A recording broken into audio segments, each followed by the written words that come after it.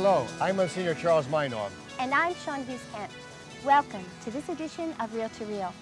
St. Charles Seminary, which you see behind us, has graduated thousands of priests in its 150-year history. But Sean, before we talk about the 150-year history and the days they opened those doors, we must also remember that the people of this area were served by mission priests who came from all over the countryside.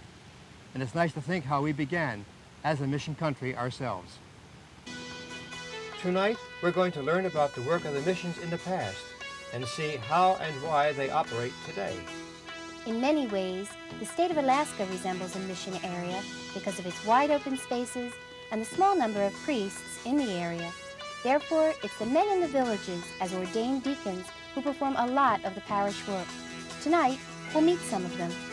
In our short subjects, we'll have a remembrance of the late Bishop James Walsh, who was a missionary to China and we'll introduce a new segment called Do You Know, which will answer questions you have about your faith.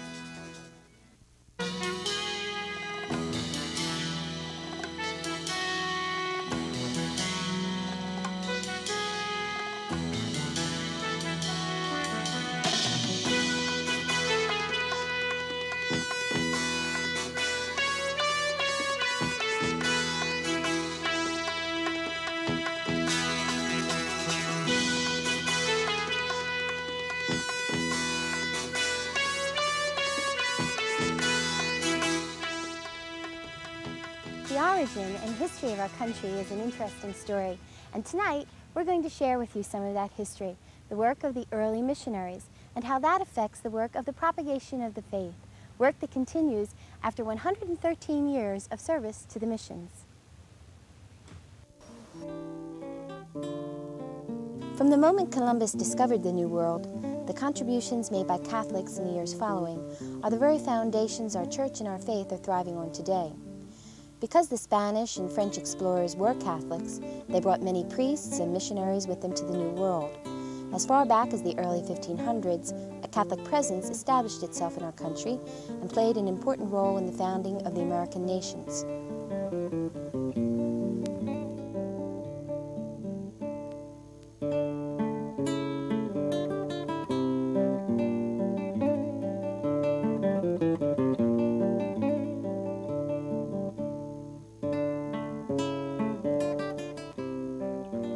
Think of foreign missions, we conjure up thoughts of places like Bolivia, Bangladesh, Africa, Nicaragua, and San Salvador. It's hard to believe that up until 1913, the United States was considered a foreign mission.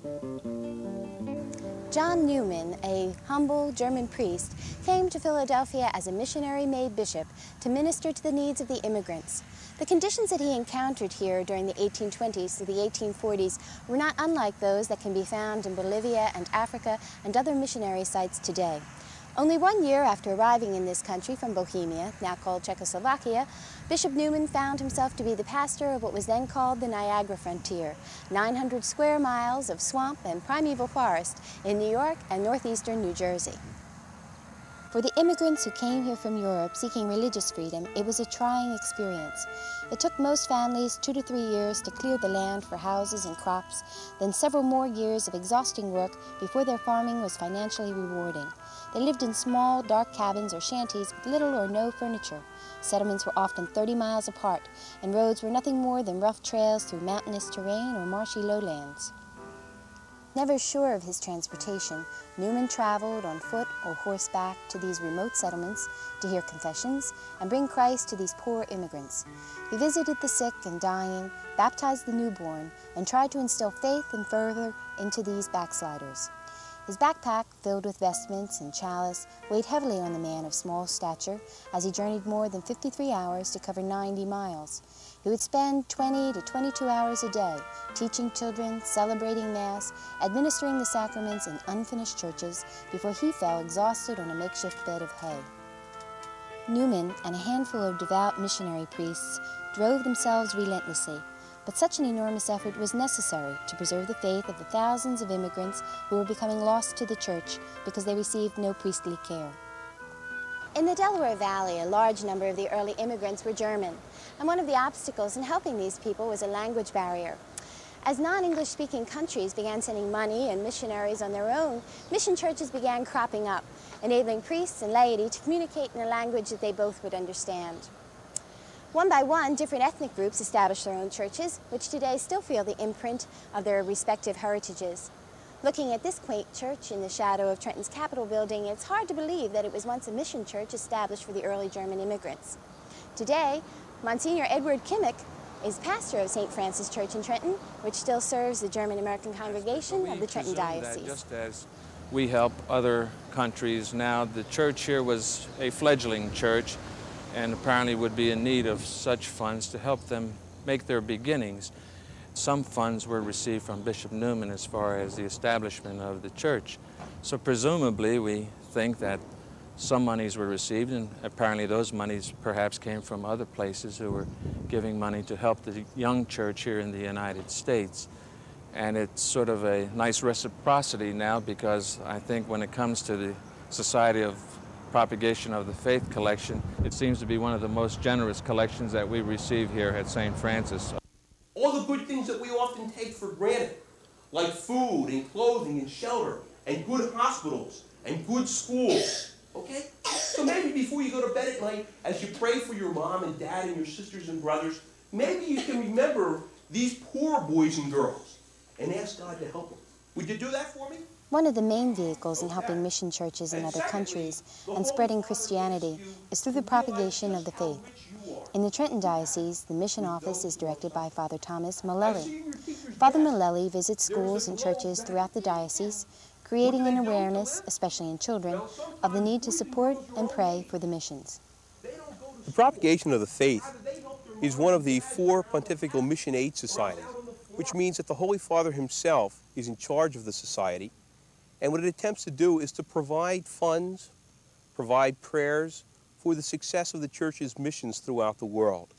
Generally, we think of missions in such continents as Asia and Africa and Latin America, but while reviewing the expenditures of the propagation of the faith over the past year, I noticed that even a state within our own country, that being uh, Alaska uh, and the Diocese of Fairbanks, was the recipient of some of the mission aid which was distributed by the Pontifical Mission Aid Societies.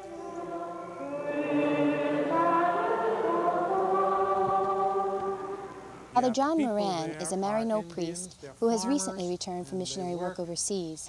After spending two years in Bangladesh and 10 years in Bolivia, Father shares his experiences and makes us aware of the need to support missionaries like himself. The poverty we experience here in the States is really nothing in comparison to the poverty that we see overseas.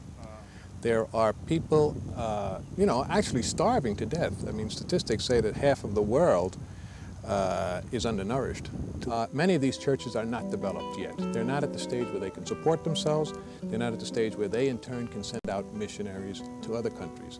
So our efforts, mainly in the, uh, in the ideal, and the objectives of, of missionary endeavor from the United States, uh, would be to uh, allow these churches to, uh, to help them become mature, help them help themselves. They, um, like, like, if everybody around there's poor, like, how do they find the food and stuff? Okay, well, once again, they have to go searching for it. It's not an easy thing. They have boys and girls your own age who never go to school, but who have to constantly help their parents, who actually have to work in order to survive. Just as you pray for your own parents, your brothers and sisters, your grandmom and grandpa, sometimes even people pay, pray for their pets. Okay? How about that? How about praying for the boys and girls who are in the missions, who don't have all the good things which you have? Father Moran and Father Malelli have been asked the question, why do we continue to send money and people overseas when there's such a great need in our own country? The economic plight of our own country is certainly one to be concerned about, but we must remember that unless we help one another, no matter how great the distance between us, we fail ourselves. As Christians, it's not an option for us whether we should or should not respond to the temporal, to the spiritual needs of people throughout the world. Rather, it is a command of Christ himself that we go beyond our own borders, that we share the gospel in all its ramifications, in temporal and spiritual needs, whatever it may be, with the people throughout the world. Propagation of the faith and its pontifical affiliates still goes on. It is needed as much today as it was needed when our fledgling country first welcomed the missionaries from Europe. Pope John Paul II has said, the missions is not just a generous assistance of rich churches to poor churches, but grace for every church, a condition for renewal, and a fundamental law of life. Coming up next in our short segments, Father Walt Nolan will answer the question, how many times a day can you receive communion in our new Do You Know segment? And in expressions, we will remember the late Bishop James Walsh. Stay with us.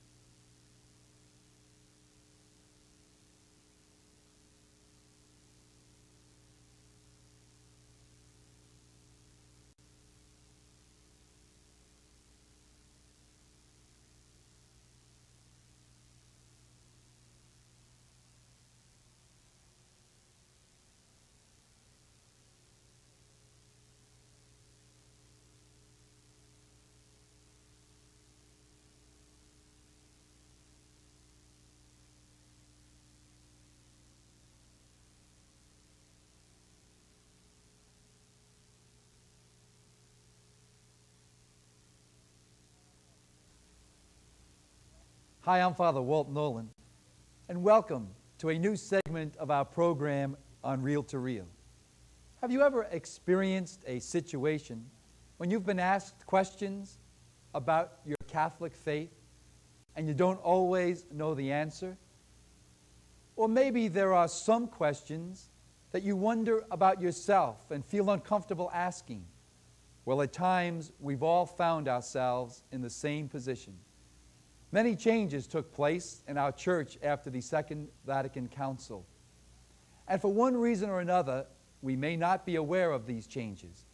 So we thought it might be fun and interesting to bring some facts and information that you may not know about your church and call the segment Do You Know?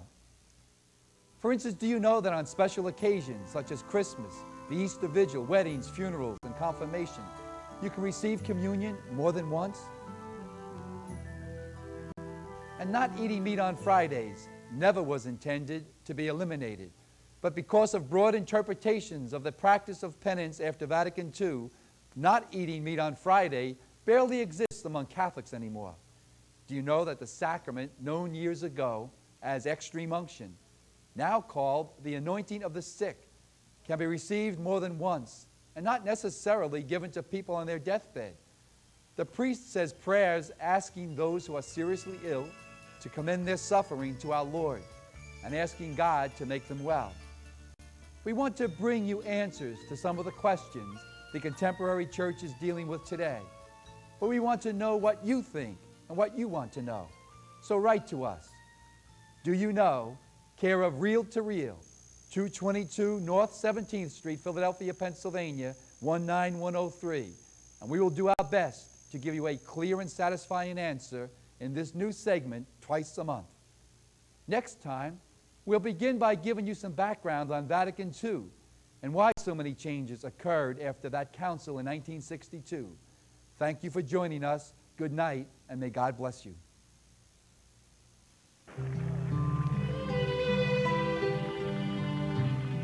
I'm very happy to be free once again. I never thought I would ever see the day of my release.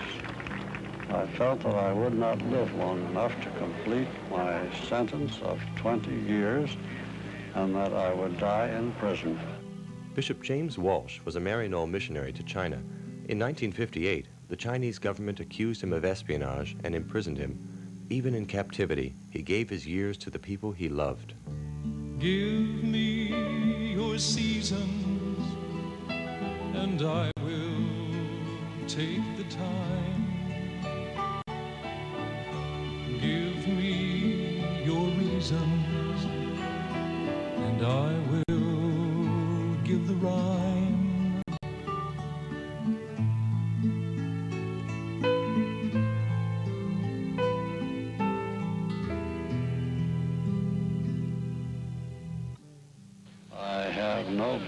Towards those who tried and condemned me.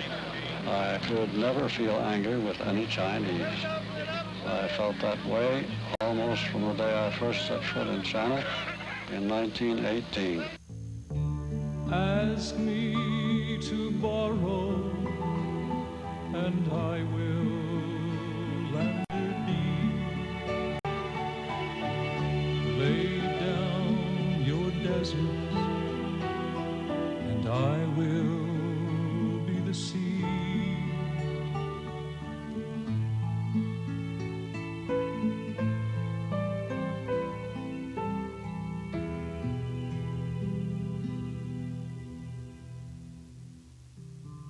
Bishop Walsh died on July 29, 1981. He belonged to a missionary era that survived warlords and pirates, that withstood hostility and imprisonment, all for the sake of the precious message he carried, the gospel of Jesus Christ.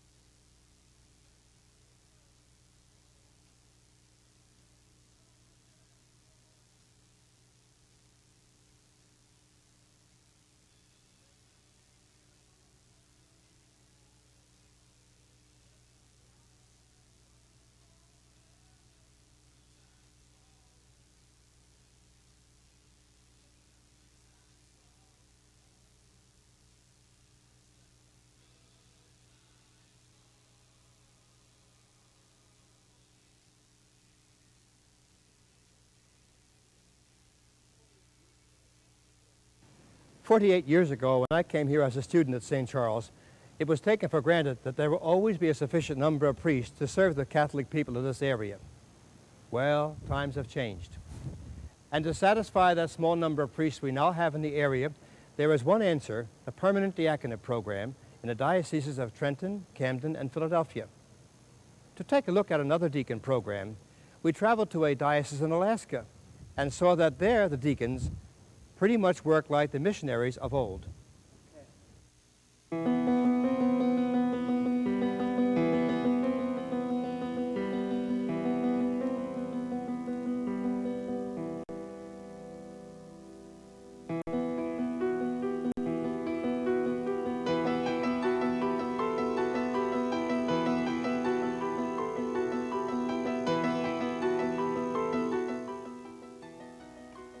Nelson Island is known by many as having the most unpredictable weather in Alaska. On this island is the village of Tununak, with a population of approximately 350 Eskimos.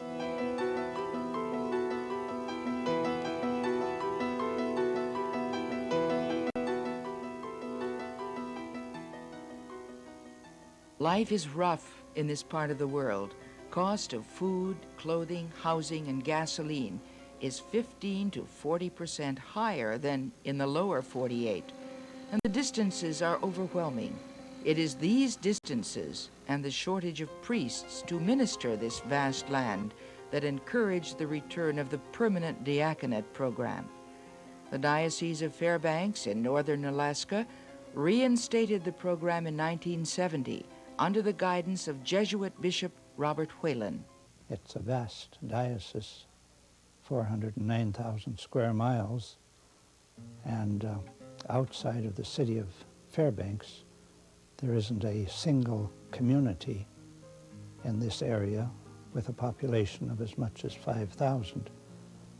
So uh, our people are very much scattered in small villages, and uh, it would take uh, quite a force of priests to uh, cover every village adequately so that they could have a resident priest in every village. We would look uh, to this program for a means of uh, developing the ministry among the native people uh, in the diocese. I'm sure it'll come. I don't know how long it'll take. It's been approximately 11 years since the permanent diaconate program was reinstated.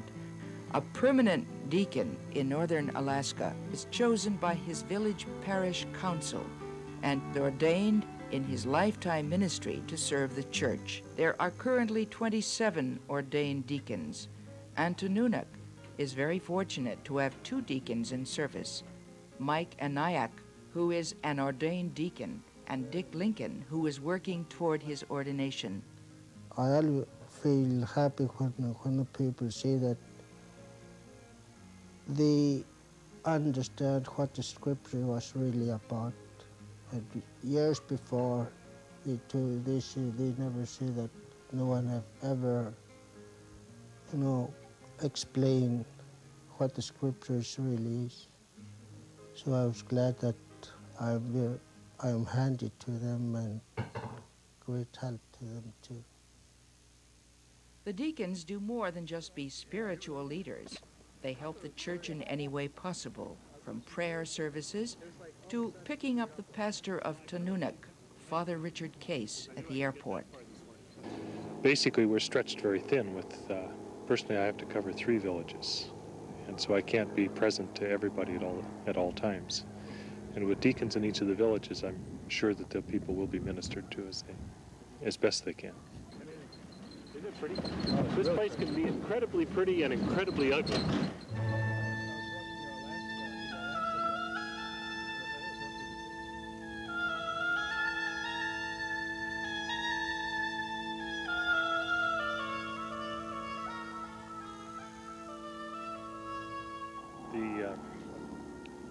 Community then of Tununak is really and truly identical with the community of the parish and vice versa, so that uh, all the people share a genuine concern for their life as, as Catholics and as members of Tununak, the community of Tununak.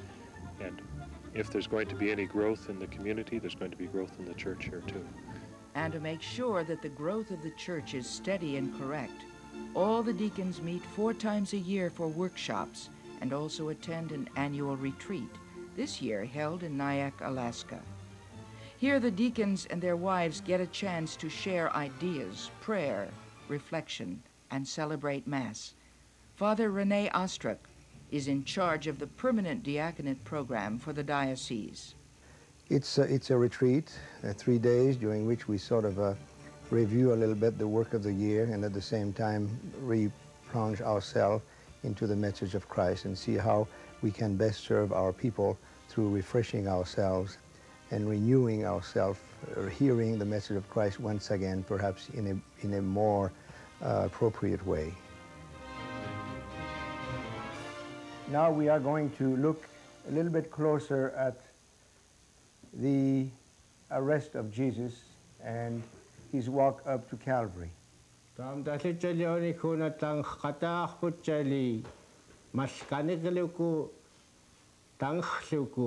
Una Jesus tigo tigo makat tigo makatalha tani kalaling. Somehow, the gospel has to be expressed in terms of the thinking and the culture of the Eskimo people. Before I go to the retreat, I was, there's something missing in me. And after I go to the retreat, I come back with something missing, missing thing in me after I come back from Nyack.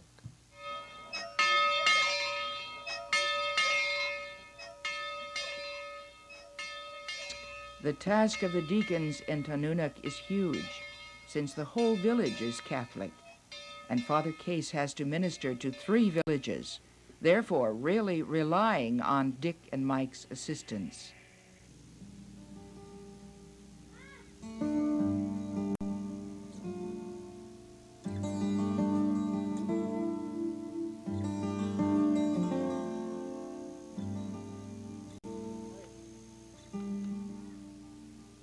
The prayer service would be basically the liturgy of the word, followed by a communion service. I think the presence of uh, Mike and Dick in leading the prayer service is what is their primary ministry so far in the village. The people are very appreciative of the, uh, the way that they lead the prayers, give direction to their liturgy, and help the people to grow together as a community of prayer.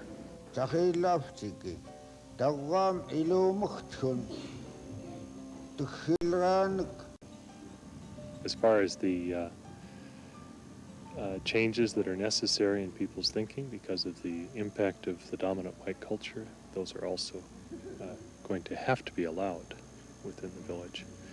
But if they're worked out here within the village setting, I think people have a, a chance of developing a good set of values and customs that'll suit them for both cultures. It's been over 10 years since the permanent diaconate program started with the hope of moving the Alaskan church from being a missionary church and moving it toward becoming a native church. And judging from the support that the church is getting from deacons like Dick Lincoln and Mike Anayak, it should be soon that the native church in Alaska will be a reality. You know, Monsignor, living in such an urban area, it's hard to comprehend a state like Alaska where a priest has to be able to fly a plane to serve his diocese. It is a large area, Sean, and it's interesting how both of our stories touched on the same kind of subject matter. One thing, though, we did learn from both these stories is that in the Christian life, there is no room for isolation because the people will be served whether the priest or deacon have to fly there or walk there. Next week, we'll fly down to Jamaica to see how a man uses his business skills to help the poor of that fabled resort island. And we'll take a hard look at the church's just war teaching to see how it stands up in our nuclear age. And we'll get some advice on growing old.